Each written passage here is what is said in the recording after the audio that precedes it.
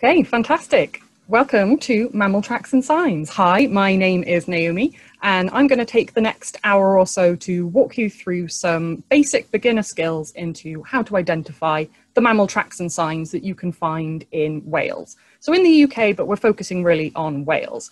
So thank you very much for the West Wales Biological Information Centre for having me today. I'm really excited to, uh, to get started. So um, just a little introduction about me first. So like I said, hi, my name's Naomi. I am a graduate student from Aberystwyth University. So I studied animal behaviour. Um, since graduating, I've been um, working with a variety of different natural uh, conservation charities across, across Mid Wales. So uh, I've done a bit of work with the RSPB, with the Wildlife Trust, and I've also been lucky enough to help out with the Vincent Wildlife Trust Pine Marten Recovery Project, moving animals from Scotland down to Mid Wales, and that was really fun. So what I do for my work now is mostly bats and ecology related. I'm part of our local bat group and I also take care of bats as, uh, as a bat carer for the Bat Conservation Trust.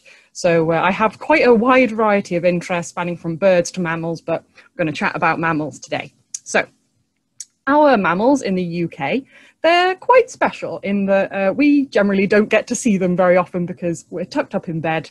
Many of them are nocturnal, so the majority of our animals in this country are prey species. So that means that they are food for other animals. And because of this means that they don't really like going out and about in the middle of the day. So they're coming out at night. And so that unfortunately means that we don't get to see them that often. And we have to decide and investigate who has been active in our gardens and our green spaces from the clues that they leave behind. So I always say you have to play detective when you're looking at mammal tracks and signs, because what can we find that has been left behind? So I like to break it down into the four P's. So starting with the top three P's, which are prints, so footprints, poo for poo, and pickings for things like nuts, seeds, homes, prey remains, the sorts of things that animals leave behind. And of course, then the fourth is place. And I use that place to inform on the other things that I found. So thinking about where we are, what time of year it is, things like that. So before we get started, I just want to share with you two really important tips. First of all, is um, use a scale rule whenever you're out and about taking pictures of things. The amount of times I've wanted to take pictures of a footprint or a poo, taken a picture, gone home to look at it, and I have no idea how big it is. So I know you're probably not wandering around with a ruler in your pocket, unless you're slightly strange, but you probably almost always have a pen or something similar. So it's always worth having a scale whenever you're putting something next to a poo or something to take a picture of it. Secondly, I'd like to recommend you using a field notebook. Now, this is my field notebook. I have it right here. So this is my field notebook. I've been using this current notebook for about three years now. And I like it because you can write whatever you want in there. You can use pictures, you can write in code. It's a great way of learning things because learning is a very unique process. And uh, I find that learning my own little my own little rhymes, my own little stories helps quite a lot when uh, it comes to learning different species. So I would definitely recommend using a nature journal or something like that. So just to start, we're going through the, uh, the four Ps really quickly before we get started. So prints, looking at what type of print have we got? What are the toes looking like? Does it have claws? How are the toes positioned? And how big is the print? We can use helpful things like cheat sheets. So here I have from the Mammal Society, uh, a lovely page of prints, but I'm sure you're wondering that's not actually really what animal feet look like. How, how can I how can I tell the difference when when we're out and about? Well, just try and think of your own human hand and think if what happens if you painted your own human hand and smacked your hand on the wall or on a table or something. That is probably the sort of thing that we'd end up leaving behind. So we're looking for four really long fingers on the top, little thumb at the side, and a really big palm at the bottom. So it's these things that we're putting together, these clues that we're putting together that tells us that that is a human handprint. And so we do the same for animal prints as well. So we're looking at the way that the toes are distributed, we're looking at the claws and the claw shape, and then we're also looking at the size of the pad in relation to the toes as well. So just a quick example here, print of a badger. So badgers have got lovely big toes, lovely big toes, lovely big pad of the foot there, and lots of lovely young, long claws. So we can use our cheat sheet to sort of superimpose on top of that print that helps us identify that that was a badger. So moving on to poo. Firstly, poo is great because it can tell you so many things about the animal that uh, that, that did it.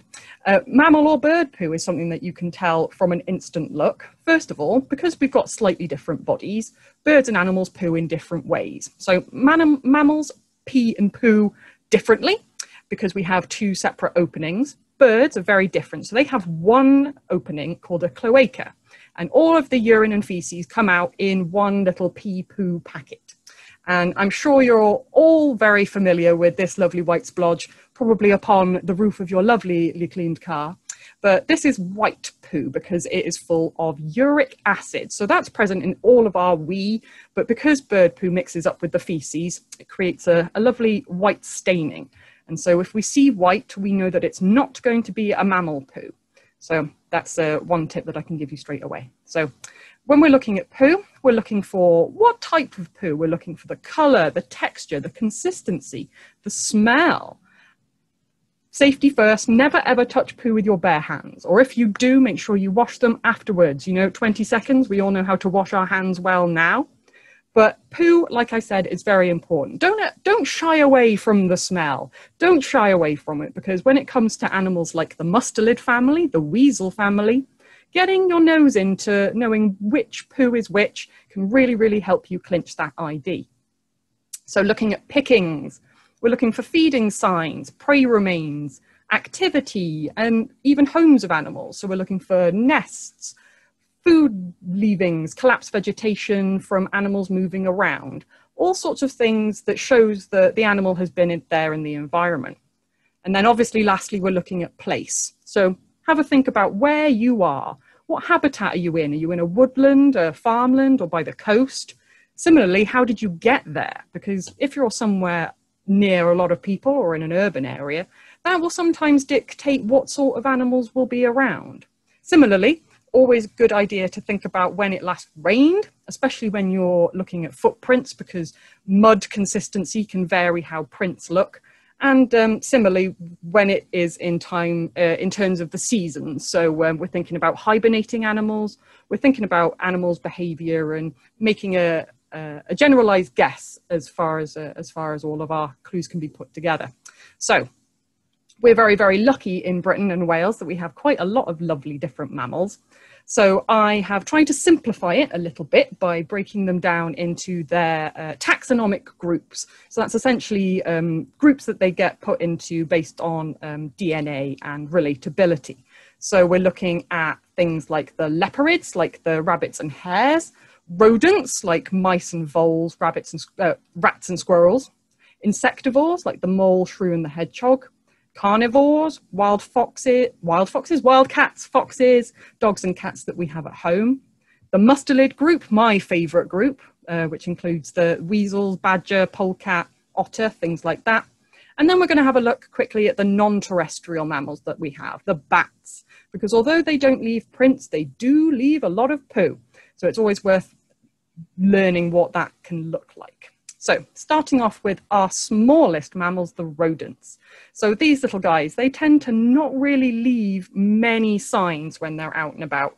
Due to their size, they tend not to like to show themselves. So their footprints and their poo will often be hidden in vegetation and scrub and things like that a brilliant way to sort of get to grips with what sort of mammals you have in the area is to utilize other species. So things like barn owls and tawny owls will eat these mammals, all of these small mammals, and they will produce pellets. And so I'm not sure how many of you have had the chance to dissect an owl pellet, but it is such good fun.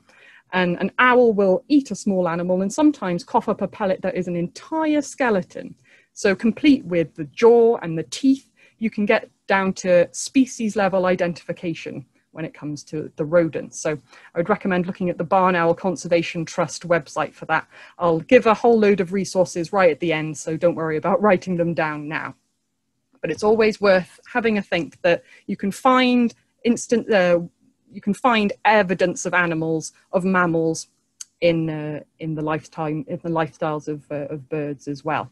So it's always worth to think about. So, like I said, with the small mammals, you generally won't find many signs out and about.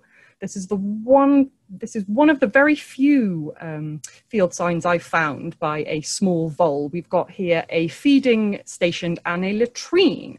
So here we see the tiny green poo of the field vole. So it's green because they eat uh, the soft rush, this juncus here. And so they like to eat the green chlorophyll filled outer outer sheaths and then leave the pith, the white unnutritious bit behind. And so they tend to pee and feed in the same place, not very hygienic really, but it allows us to be able to um, find them when we're out and about, and that makes our job a lot easier. So we're looking at a mixture of poo and pieces. And so bearing in mind, uh, field vole and water vole can look quite similar.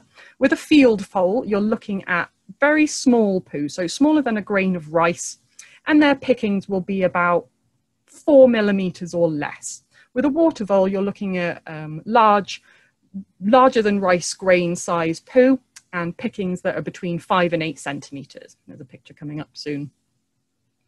So another animal that I suppose we don't tend to really like, I suppose, is the brown rat.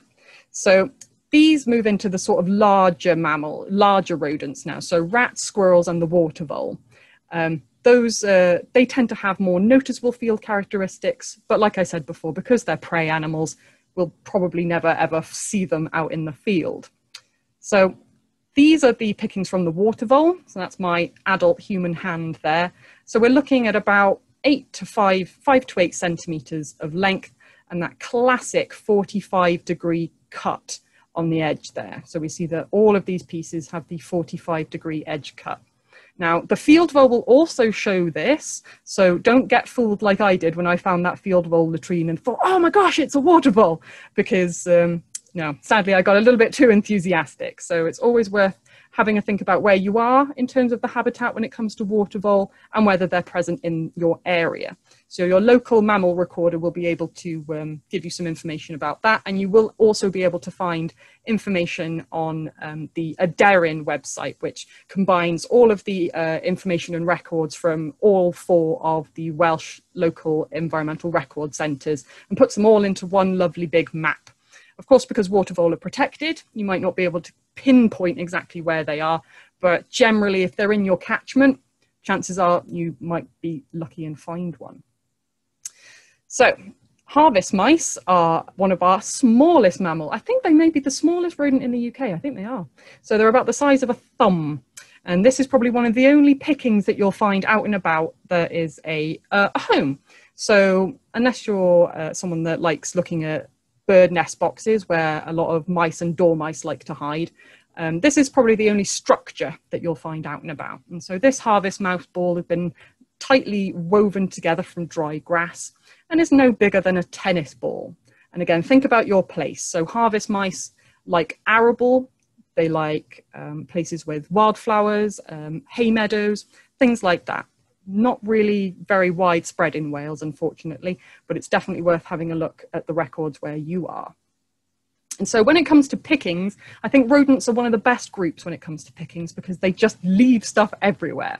And pickings are great for finding animals that are a bit more elusive. So the dormouse, a protected species, generally not able to go out looking for dormouse because to check nest boxes, to check dormouse nest boxes, you have to, of course, be licensed. And so looking for nuts and different gnaw shapes on nuts is a fantastic way of looking for dormouse wherever you are. So different, different rodents will have different feeding strategies. And the dormouse is quite unique in that it has, whenever it eats nuts, it leaves a lovely smooth circle around the feeding edge of the nut. If you imagine what a rodent jaws look like with the incisors at the front, the two big incisors at the top and the two at the bottom, you can see that the voles and the mice make a very, very sort of classic rodent chew mark around the around the edges there, whereas the hazel the hazel dormouse will uh, will chew very, very sparsely and um, it's a lovely, lovely smoothness to the to the uh, inside of the nut there. Squirrels, of course, bigger and bulkier, they will just often crack open things like hazelnuts. Um, they don't really care.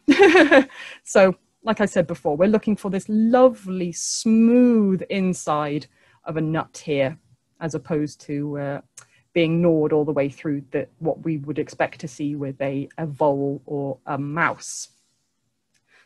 So moving on to squirrels, and like I said before, squirrels, they're a lot bigger. They don't really care about making a lot of mess. I'm sure lots of you have seen these uh, in your walks through the woodlands. So pine cones, this one has been thoroughly munched. So a squirrel will take a couple of pine cones, sit there on its tree, eat them like a corn on the cob, you know, from one end to the other, and then just sort of chuck them on the floor.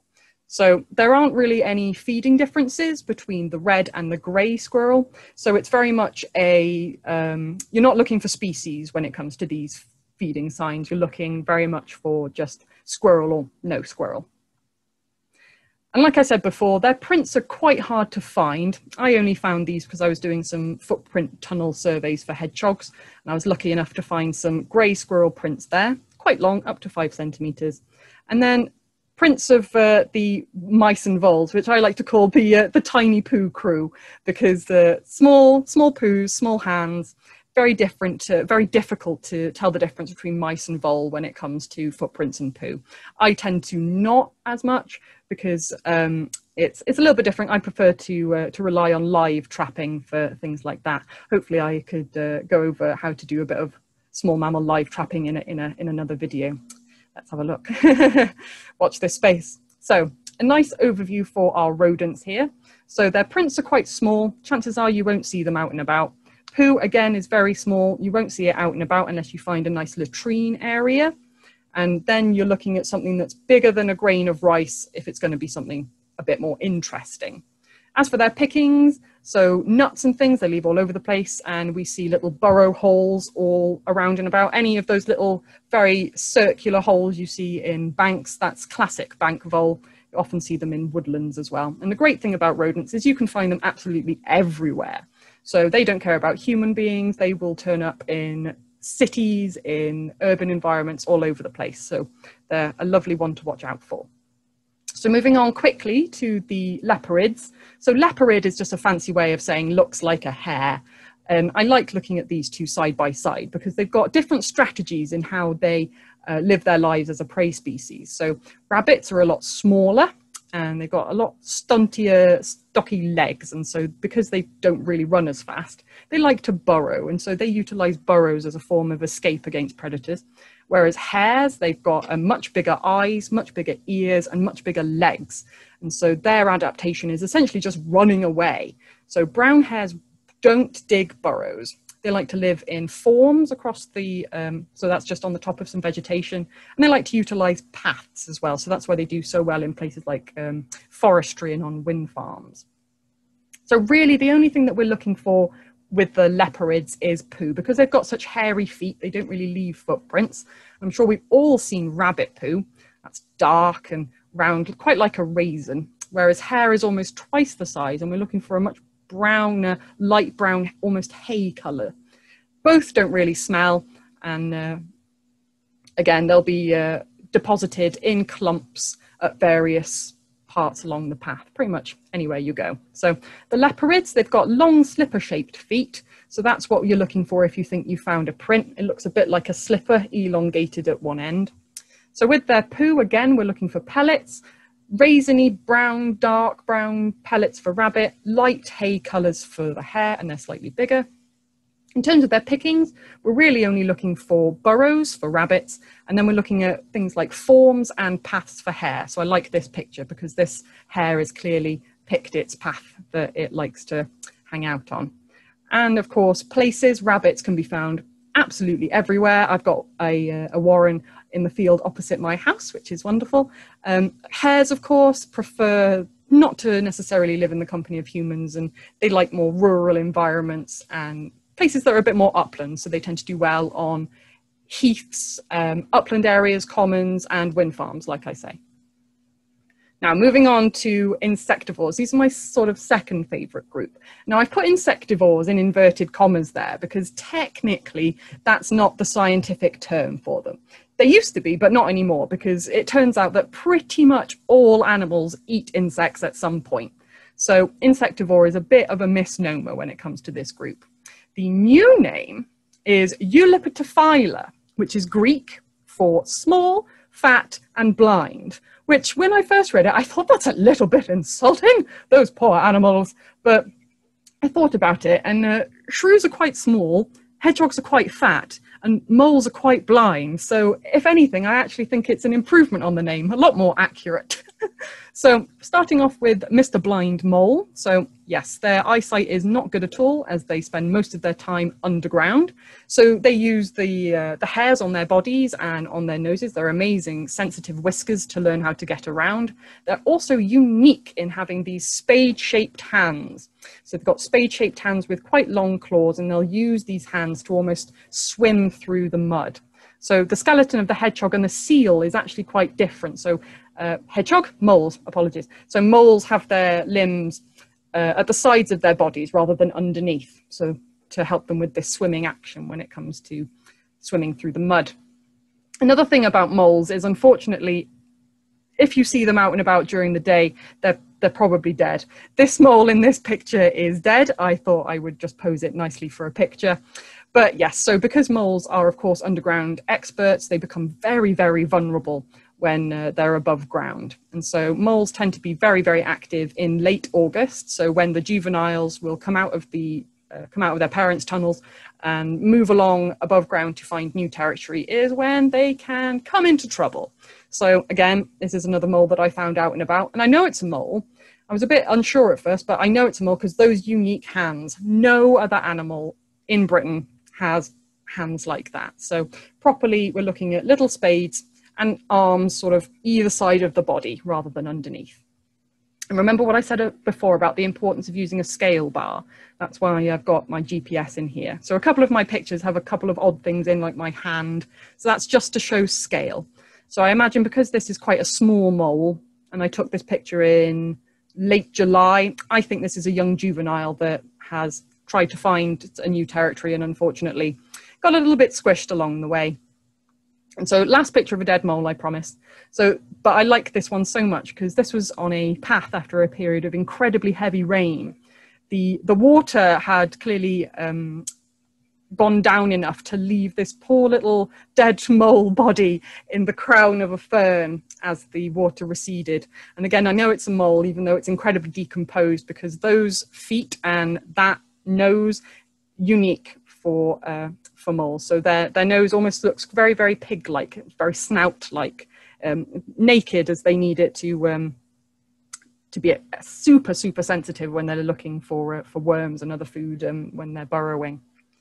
So moving on to to shrews, and and again, unfortunately, if you're lucky enough to see a shrew for as long as this, chances are it is probably dead.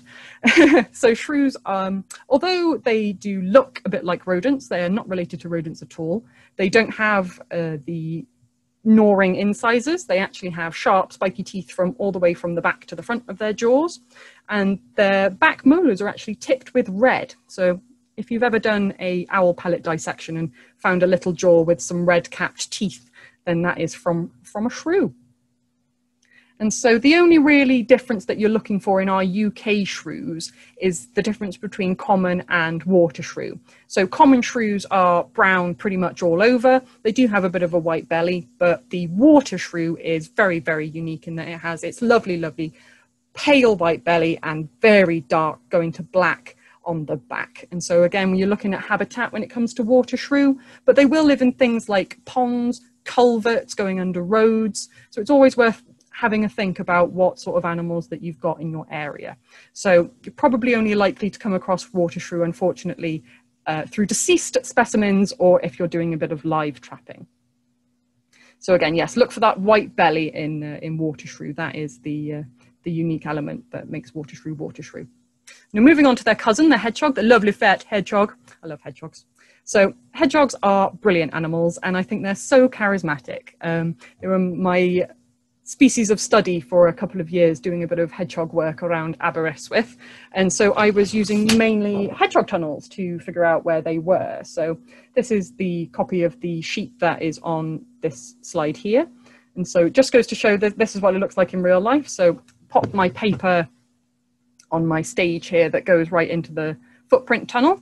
So I, I, put this clip in here because typically you want an animal to do something and it won't ever give you the time of day. So this hedgehog is supposed to be walking through this tunnel here to eat the food and leave me some lovely footprints.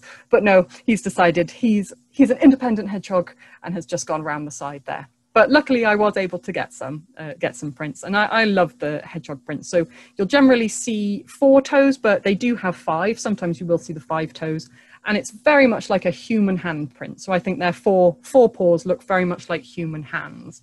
And so there are quite um, a variety of different shapes and sizes that these paws come in. But again, they, they look a bit like someone's just put a little tiny human hand there.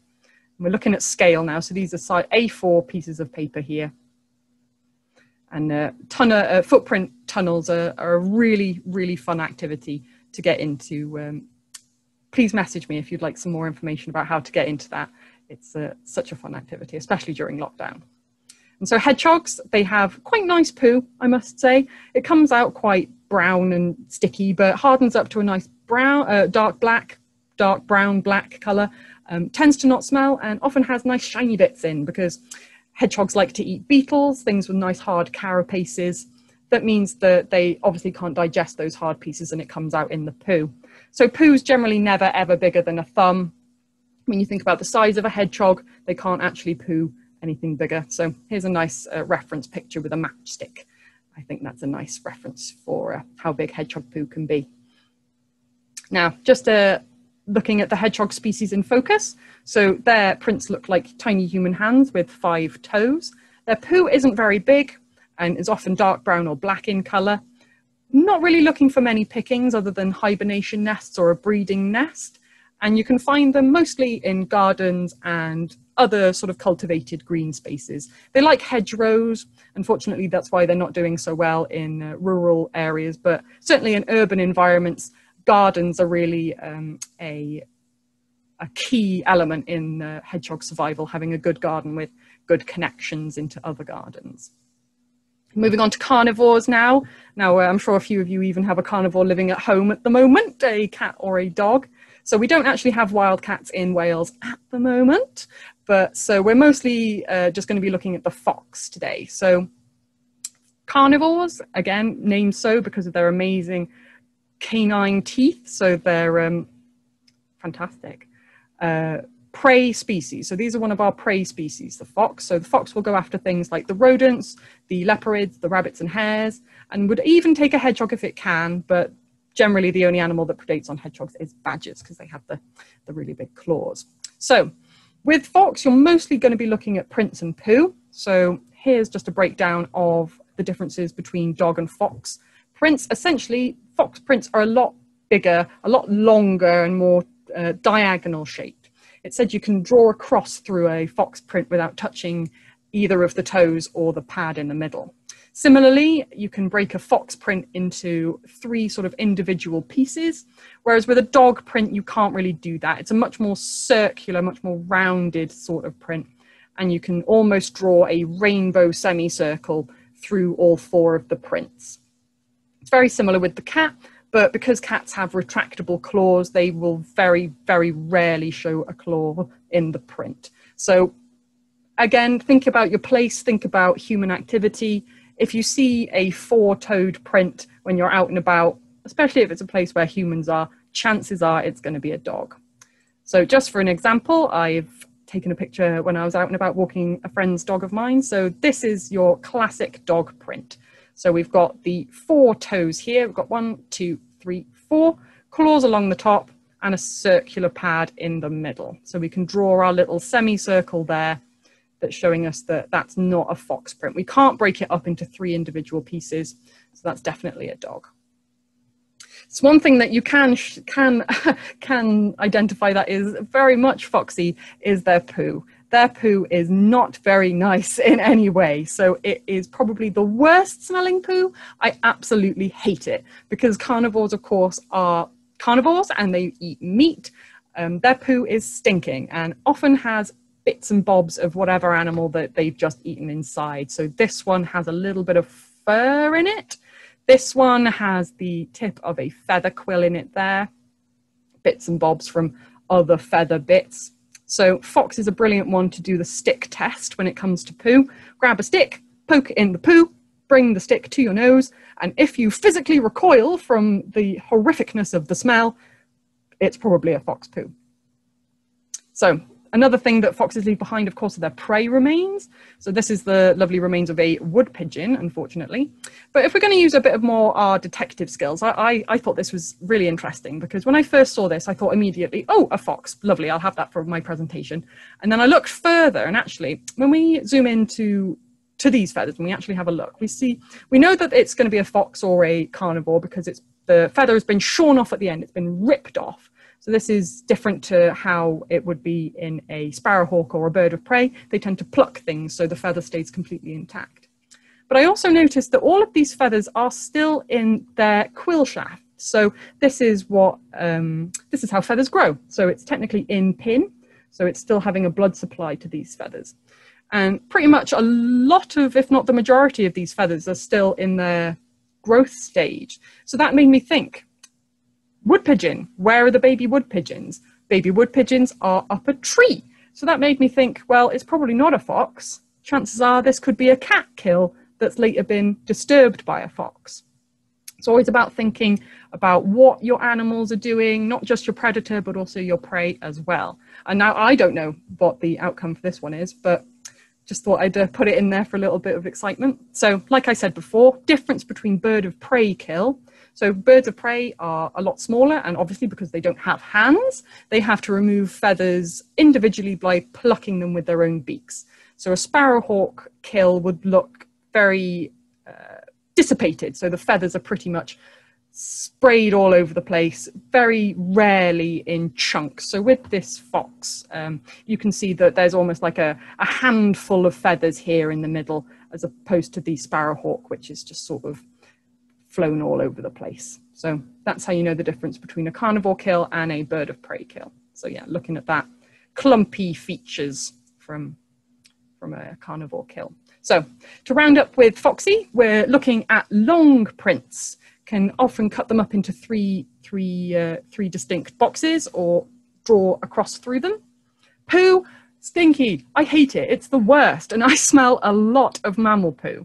So we're looking at cylindrical shapes often with fur, pointy at one end because carnivore poo does that. In terms of their pickings, so we're looking for prey remains, feathers, bits of dead animal, um, and their den sites. So foxes will take over rabbit burrows like in this picture because they don't tend to dig themselves. Their paws really aren't adapted for it.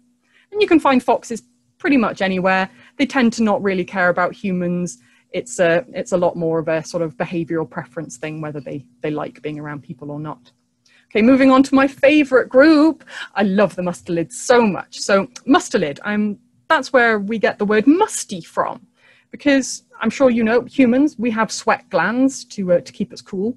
Mustelids have scent glands and they have these scent glands on their belly and around their bum and they use those to communicate with each other. So these smells can say anything from I am new in the area and I'd like to meet a sexy other mustelid friend. Or it could say, This is my territory, get lost. Or it could say, I'm feeling pretty sexy. Does anybody want to meet up and have a get together?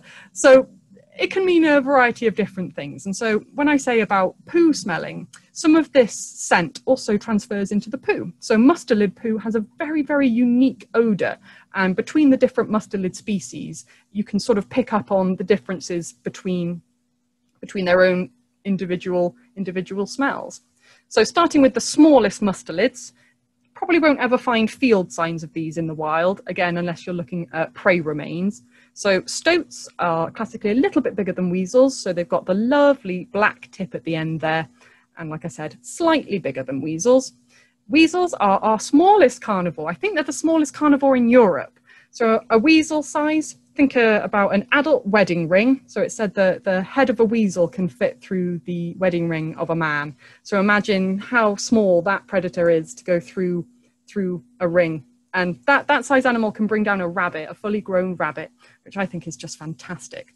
So Mustelid group are another fantastic group because they have five toes. So that's why I get super, super excited whenever I'm out and about, um, especially if it's somewhere where people walk dogs.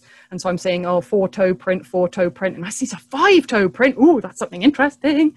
So this is when I, again, I like to use my little cheat sheet because although mustelids have got five toes, looking at the placement of the toes is very handy when it comes to mustelid. So this one is mink, and I know this because of my place where I was. I was on a, a nature reserve.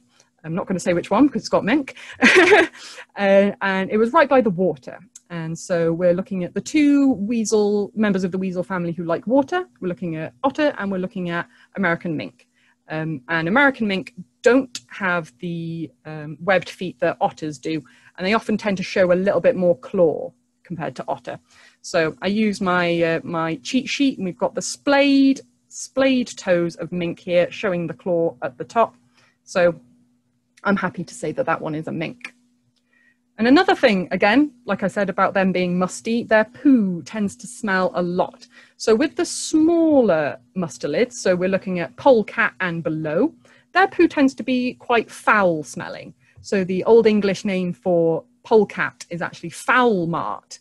So they smell very foul. Compare that with the pine marten, that's Old English name is sweet mart, because they tend to give off quite a nice sweet smell. So I'm sure if you've ever hit, hit a polecat with your car, sometimes the smell can actually still be on your car. It's oh, it's horrible, especially if you accidentally get it on your hands, like I once did.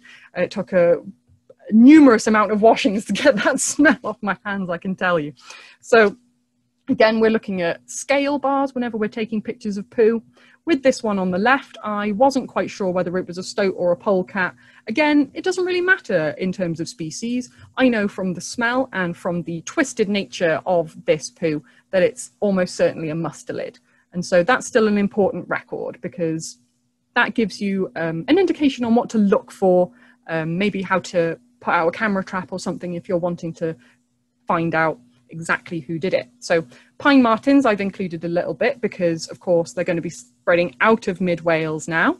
So we know that we've got pine martens in Carmarthenshire, I think pretty much all of the old counties, all the big old counties. And this map is a little bit old even, so I know that they're even down almost into Pembrokeshire now.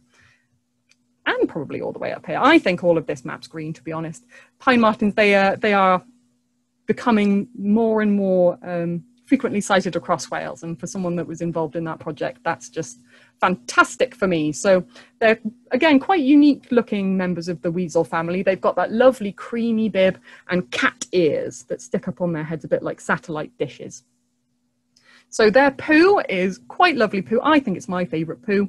They poo in a very odd way. It's almost like kicking their bum out at the end, which means that almost always it looks a bit like an S shape, either an S or a uh, question mark or something like that.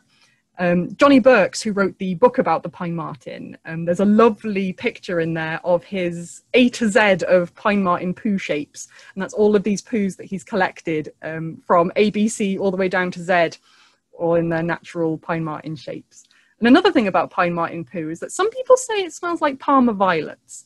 Now, I disagree. I think it smells a bit like silage or haylage. It's definitely got a, a wet smell, but it's not necessarily unpleasant. There's a, there's a sweetness to it, definitely. And like I said before, they use this poo to communicate. So this is on top of one of our den boxes that we put up for them. And this Pine marten is essentially saying to everyone else, excuse me, this is my house. I have pooed on top of it. No one else come into my house. So that's a fantastic sight. It was quite difficult for us to get the uh, the poo off the top of the box on this one, to be honest. It was very, very heavy. So moving on to a, another mustelid species, um, the otter. So again, otters are quite unique in terms of their aquatic environment. They're, um, they're the only um, mustelid that we have that has webbed feet. And they have very fishy smelling poo. Quite perhaps unsurprisingly, they like to eat um, fish, crabs, freshwater invertebrates, other things like shrimps, other crustaceans. And so that means that their poo often smells very fishy, but also has these lovely bits in it as well. So you can see fish bones, bits of crab, all sorts inside an otter poo. So the only thing that you can really mix it up with is mink poo. And so we're both looking at that slightly mustard smell, whereas mink smells absolutely foul. Like it almost smells like something has died in the poo. So again, that's how you can tell the difference. People say that otter spray smells like jasmine tea. I don't believe it, but like I said, it certainly smells better than mink. So when we're looking at otter prints, we are looking for the five toes of the mustelid again, but we're also looking for a unique webbed look. And so this gives the paws a very sort of spiky look because rather than being really big claws, it's just the way that the print sinks in and brings the front of the claws downwards. So they've got quite a large print, about five to eight centimeters long um, on the hind foot, and they'll often leave their tail behind them if, uh, if you're lucky enough to get one on a sandy bank or a muddy bank or something like that. So their poo, often very fishy with lots of bits and bobs in it. Their pickings, again, quite similar crabs, shrimps, fish bones, bits of fish just left lying around. And off, of, of course, they're um, in more sort of aquatic environments. They can hang out um, on seasides, so don't um, ever think that you're not going to get a, a, otter swimming in seawater because they will do. Um, in Aberystwyth in 2020, we had one living in the harbour for about two weeks, and thankfully it was during um, when we weren't locked down, so that was a lovely thing to go see every day. Um, yeah, so that's otters. So moving on to our largest member of the weasel family, Mr. Badger. So badgers are fantastic. They have, again, a unique footprint. We've got the five toes, but they've got very, very fat toes, and they've got four toes almost along the top with a little tiny thumb on the side there. They've also got huge claws, almost bigger than the toes themselves, and this lovely big fat pad at the bottom there. And so again, we're thinking about our cheat sheet. We're thinking about the toes at the top we can see the little thumb at the side there, and again, the claws. No other animal, no other, no, not even, not even carnivores have has claws these big. These are adapted for the badger's digging lifestyle because not only do they live in setts, they also like to dig to find things to eat, things like um, bluebell bulbs and things like that. So, in this picture is a badger toilet. I'll give you five seconds to see if you can spot it whilst I take a quick drink.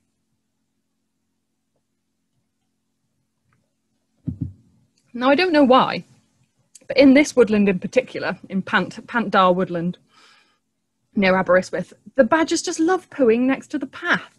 I don't know whether it's because the soil is, is looser, I have no idea. But badgers are funny old animals in that they like to poo as a family. I say funny, I suppose we do it as humans.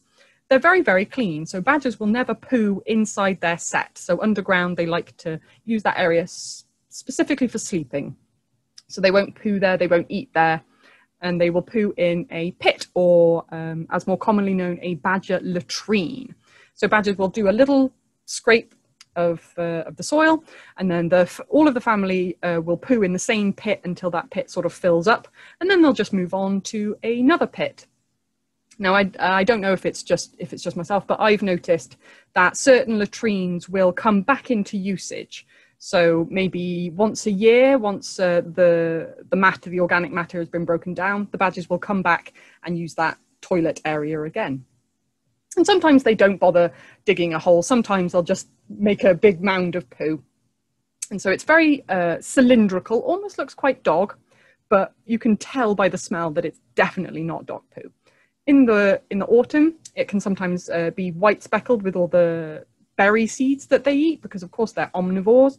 They change their diet throughout the year, so their poo can look pretty different depending on the time of year. But like I said, you're looking for the latrine. You're looking for the the big mound of poo. No other animal will poo like that. And so, because badgers are such large animals, they tend to be habitat modifiers. They change things quite a lot. And so, one thing that I like to do when I'm out and about is following badger trails. So, as we can see from this picture, we've got a line of baked, not baked, we've got a line of earth here that's been um, crushed down from many passages of many badgers. And an interesting thing to look for when you see this sort of thing coming under fences is for barbed wire. And so if you are lucky enough to find some hair on the barbed wire, always run it through your fingers because if you, for example, take some of your own hair and you rub that through your fingers. So we're looking at one hair, run it through your fingers and you probably won't feel anything. You won't feel any resistance because the cross section of a human hair is circular. A badger's hair, however, is triangular. So if you run that through your fingers, you will feel ridges as it stops on each side. So that's something really interesting to uh, have a look for when you're out and about. Start taking things off fences and rolling them between your fingers. Because even though horsehair is much thicker and almost feels like a badger hair, again, that will have the round cross section of a human hair. So it's not quite the same. Again, badgers, you're thinking lower down, less than three foot in height. So if we follow badger paths through the woodland, it's a lovely thing to do and sometimes, you know, can take you some places that you've not been before, but can also help you find badger setts, of course. So badgers, famous diggers, fresh earth will always um, highlight a fresh and active sett. So not only are we looking at fresh earth, we're also looking for a clearance of vegetation. Because if you can imagine you have a set of five to 10 badgers, all of these badgers pile out in the middle of the night and this is where they hang out. This is where they play and they chat to each other and they groom each other. And of course there is nothing there on the ground. All of their moving around has disturbed the ground so much that nothing can grow back. So this is what we're looking for in an active badger sett. As soon as you get a bit of bramble moving up things blocking the hole lots of dead leaves you know that that badger sett has been vacated and that there aren't any animals in that particular area anymore. So just doing a quick summary for the badger, they have a very big fat print, um, looking for four toes in the line and the little thumb, looking for claws on the top as well, really big claws, fat and cylindrical poo, often in their pit, uh, or a badger latrine, it's a fancy word, changeable of course due to the diet uh, changing through the year. They're picking, so we're looking at digging, we're looking for half-eaten bulbs, crushed vegetation, denning activity, digging activity, things like that. And you can find them, again, they're pretty ubiquitous, tend to favour places away from humans, so things like uh, woodlands, back edges of farms and um, other rural areas. Although some people are lucky enough to get them in their gardens. I've not had one in mine yet, but um, still got my fingers crossed. And so now moving on to our final, our final group, we're going to look at the bats very, very quickly. So bats, of course, because they are true flyers, they don't come to the ground really, and so they don't leave prints lying around. So what we're looking for is poo. So I'm part of North Ceredigion Bat Group, and this is my lovely friend Aileen, who is chair. Um, we were called to this building um, because a small little bat had been found and we were trying to find where the roost entrance was to pop him back in. Um, and we found here a huge lot of poo. So all of this tiny little brown, these are individual poos. And now one thing that I like to do between um, to guess uh, to work out whether you've got a mouse poo or a bat poo is the scrunch test essentially. So you pop the poo on your hand or another flat surface, get your finger, scrub it, scrub, scrub at the poo, and if you can blow it away to dust, literally just, it's a bat poo. But if it's a mouse poo, it'll smear the surface that it's on because bats, they eat insects and all of all of the goodness, all of the juiciness from the insects gets absorbed whilst it's being digested. And so bats excrete the hard things, the shells, the wings, carapaces, things that they don't like to eat. And so it will often break down very, very easily. And so we thought, this looks great. This looks definitely like a roost entrance. So when bats come in and come out of their roost, especially first time for the night, they'll often evacuate because they've been there all night and their bladders are a little bit full. So they will often poo and pee as soon as they leave the roost. And sure enough, in that little yellow circle was the roost entrance and we were able to um, take the baby back and we were able to count out over a hundred bats that night and that was fantastic because not only do we do we now know where there are another um, 100 bats, which is great for our records, but it also means that the property owner is now aware that they have a roost and they are also um, interested in counting it now for the future. So again, 100 bats is fantastic. So just to round up for our bats here, so we are looking for no prints really as they don't really walk around. We're looking at tiny black brown poo that you can crush to dust and blow away.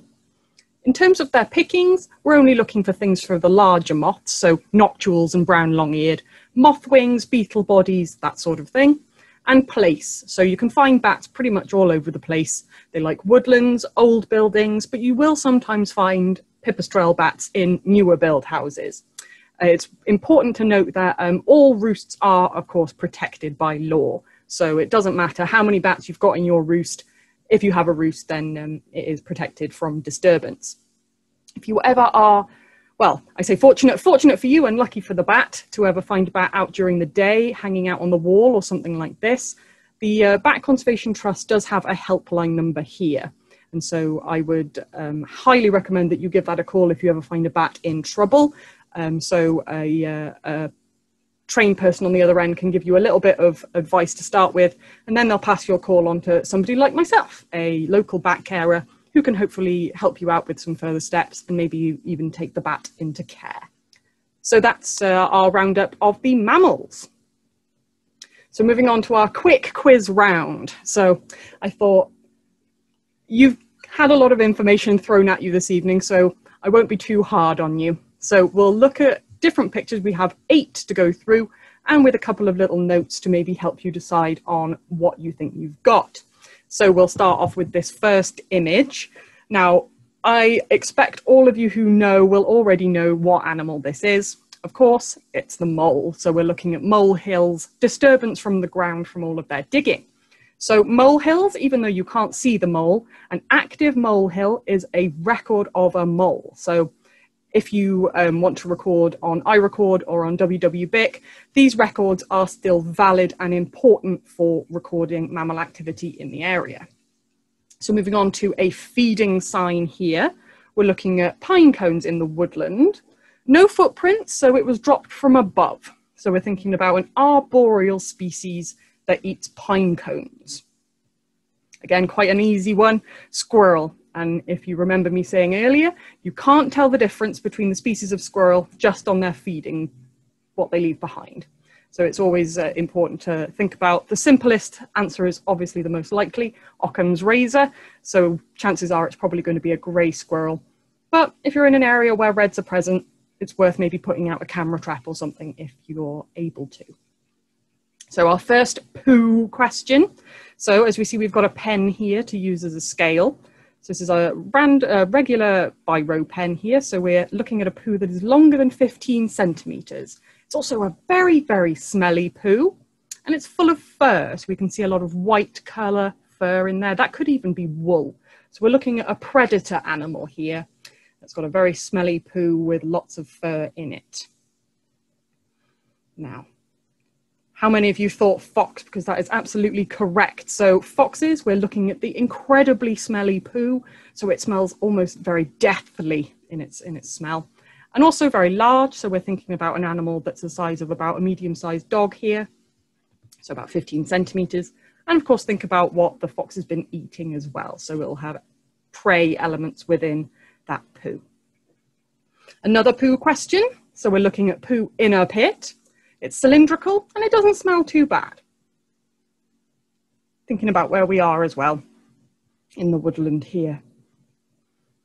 So this is of course a badger latrine. So poo in a pit, it's almost always going to be a badger, especially when there are multiple poos per pit as well.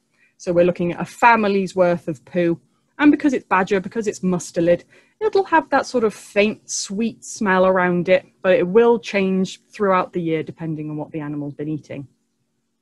Now, footprint question here. We're looking at prints by water.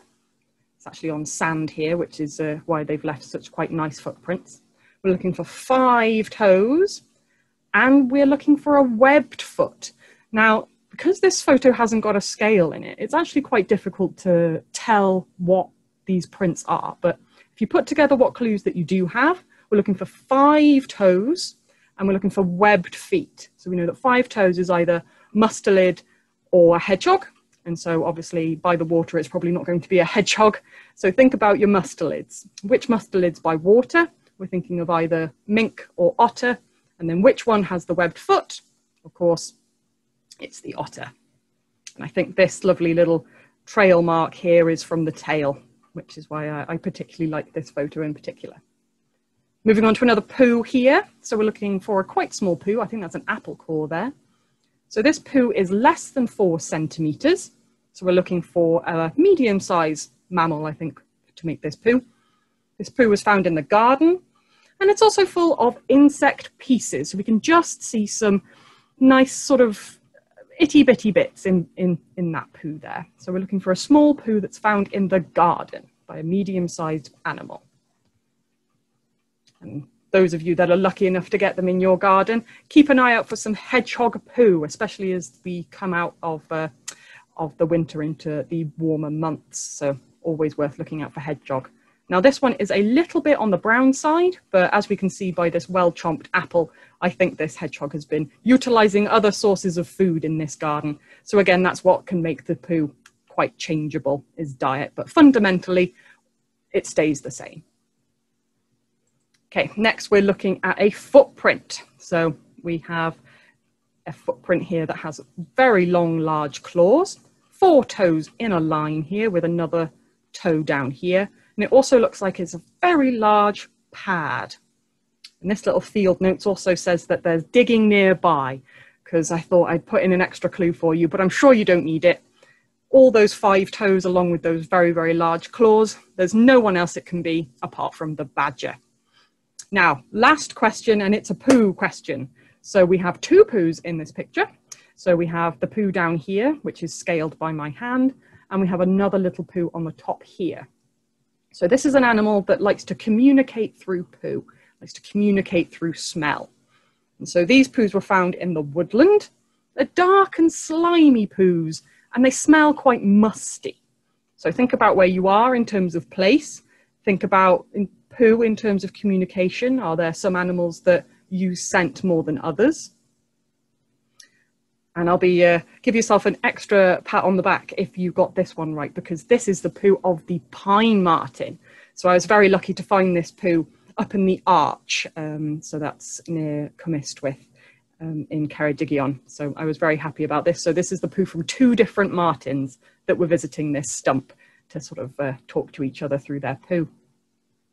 So moving on to our resources. So give yourself a, a big round of applause for that poo quiz. It wasn't wasn't wasn't very easy, but um, I'm hoping that you've picked up at least a couple of things from tonight's presentation. So we have Mammal Detective. This is one of the, well, this is the book that I suppose inspired me to, uh, to do this presentation and to properly get into mammal tracks and signs. It's a fantastic book you can get it in your secondhand bookshops or um, independent bookshops for around about a tenner. It's a mixture of um, ecology notes with some lovely pictures, pictures of poo, pictures of um, footprints and habitats and things like that. Um, again, got some lovely drawings in there of some nests, some pickings that you can look out for. So that's a nice medium range price book that you can get. Lovely book there by Rob Strachan. Another lovely book that you can get is the um, British Mammals Guide, which is um, a lovely photographic guide. So it's not got illustrations, it's got lovely photo prints in there, and it covers all British mammals. So that's the terrestrial mammals as well as the marine animals, so seals and cetaceans and things like that. Gives a lot more background into their general ecology as well. So this is less tracks and signs and more just the general ecology of our of our animals that we have. So this book goes between 15 to 25 pounds, depending on where you find it and depending on if there's a sale. It makes a brilliant gift for any budding naturalist. And I think it's well suitable for um, the ages about 16 plus, or if you have a very, very confident child reader as well. I think this one's great. And of course, they have, um, there's a wealth of um, other resources that you can get. I would recommend the FSC pull-out guides. They're very, very cheap at about £3.50. I haven't got the up to date mammal one and I really, really want it. I need to go to the bookshop when lockdown's over and get myself one of those. But if you don't want to spend any money, there are so many resources that you can find online. So, Mammal Society, People's Trust for Endangered Species, they are especially good for things like dormouse and otter. So, they have whole guides on how to set up um, management for those different types of species as well. And the RSPB has got a lot of mammal information as well. They're not just a bird charity, they are a wildlife charity as well. And if you wanted to explore a bit of mammal uh, anatomy using owl pellets, the Barn Owl Trust is a fantastic place to look for resources and to use for identification tips as well. So they have photorealistic, um, not photo, they have photos of all of the sort of mammal bits and bobs that you can find within owl pellets with a lovely scale bar that you can use to measure your own specimens. And I suppose at the end of the day, a good thing about learning uh, the having the ability to identify mammal tracks and signs is so that you can record them. And recording data on species abundance and species distribution is really important for conservation because without that baseline information, we don't know what to do in terms of our work. So the local environmental record centres in Wales, there are four of them. My one is WWBIC because um, I live in the southwest. Um, and so I like to upload my records on the website, but there are apps available for each of the um, all four um, LERC groups. You can also check out records on um, Aderyn, which is a, which is a fantastic dis, uh, data distribution um, website where you can search for different species across Wales. So mammals, plants, insects, anything, give it a look. If you're outside of Wales, you can also use apps like Project Splatter. Now, this one is a roadkill specific app, and I like to use it quite a lot because it's very, very interesting to see the sort of uh, the sort of data that they get. And if you follow them on Facebook or Twitter, they do a weekly update showing the uh, the most uh, the most killed animal of the week, which is very interesting because it allows us to have a look at their behaviour, and we can sort of map when youngsters are around or leaving the nest or things like that from, from, from that data. Mammal Mapper, as well, is another fantastic nationwide species map. So if you are, say, going to holiday in Scotland and you see a wild cat over in Scotland, pop it on the Mammal Mapper so that when you come back to come back home to Wales and you're using your uh, your LERC your LERC apps, you don't miss that record uh, being recorded because, like I said, at the end of the day, every record matters. Whether you see the animal or not, just have a think, give it five seconds and try and record it if you can. So thank you so much for listening. Um, if you have any questions, feel free to follow me on Twitter. Um, my handle is at the start of the presentation and I'm more than happy to take any questions anytime about anything. So yeah, thank you very much for listening and go out, find some stuff, smell some